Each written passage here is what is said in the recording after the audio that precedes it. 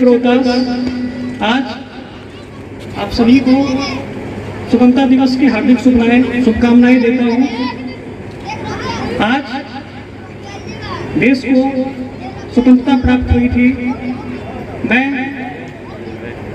इस गौरवपूर्ण घड़ी को देशवासियों के नाम समर्पित करता हूँ। खास करके स्वतंत्रता दिवस, गणतंत्र दिवस, वर्दी धारण करने वाले सभी बलों के लिए राष्ट्रीय त्योहार एक विशेष महत्व का दर्जा रखता है।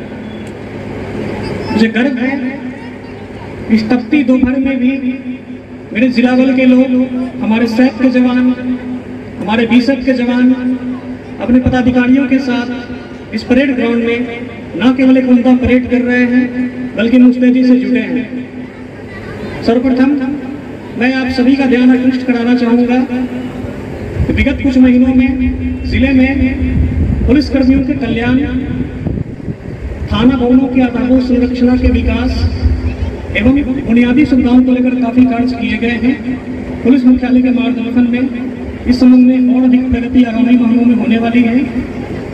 मैं आप सभी को आश्वस्त करना चाहता हूँ, पुलिस मुख्यालय के मार्गदर्शन में हर एक कर्मियों के कल्याण, बुनियादी सुविधा एवं पेशेवर क्षमता को बढ़ाने के लिए हर संभव प्रयास किए जाएँगे। विगत सात महीनों में ज़िले में आप सभी के सहयोग से पुलिसिंग को लेकर कई सारी उपलब्धियाँ हासिल हुई हैं, जिसके लिए आप सभी बधाई के पात्र हैं पूर्व में ऐसा अक्सर देखा जाता था कि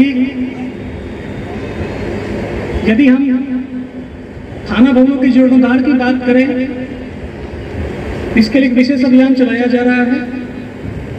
हम लोग की टीम ने हर जगह पर भ्रमण किया है अभियंता के साथ में। तो उम्मीद है कि सितंबर के अंत तक थाना भवनों के जीर्णोद्धार का कार्य भी पूर्ण कर लिया जाएगा।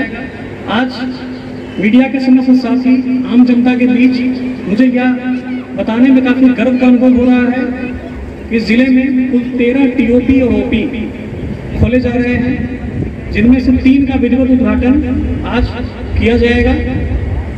ये टीओपी और ओपी वर्षों पूर्व स्वीकृत किए गए थे, लेकिन भौतिक रूप से इनको क्रियान्वयन हम लोग इस सप्ताह के अंदर ज़िले में सभी जगहों पर करने का हम लोगों ने लक्ष्य रखा है। इस टीओपी और ओपी के स्थापित होने से न केवल पुलिस कर्मियों के आवासन में सुविधा होगी, बल्कि आम जनता को भी पुलिसिंग से संबंधित सारे लाभ मिल सकेंगे।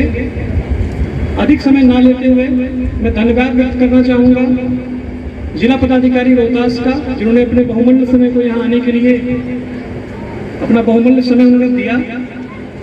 और पुनः मैं अपने अभिभाषण को जिलावासियों और पुलिस परिवार के लोगों के प्रति